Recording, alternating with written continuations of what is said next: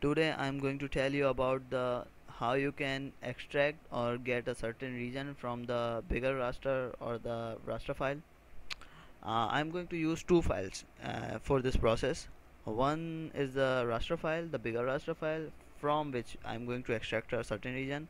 And the other is the uh, shape file or raster file which indicates the boundary of uh, the region I'm going to extract uh, region I'm going to extract from this this bigger shape file. Now you can use these two input files and just go to the ArcGIS Arc toolbox and click on the spatial analysis tools. Click on extraction and this uh, the extract by mask.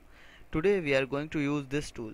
Just double click on it and input a, raster the bigger raster uh, from which you are going to extract a region. Select it here and uh, select uh, here you are going to select a mask data uh, the region which you are going to extract from the uh, bigger or this uh, raster file. You can use a shape file or you can also use a raster file here. It just consider the boundary of the shape file or the raster file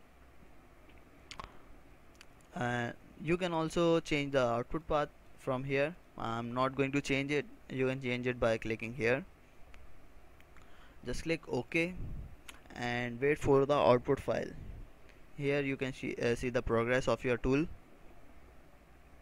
As soon as you see this window this check button in green uh, you know that your file have been processed uh, successfully.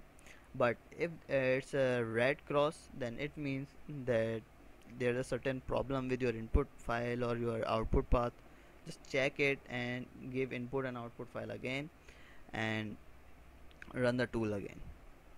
And that's all.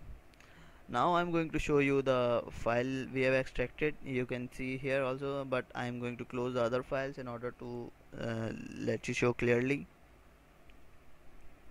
And this file also.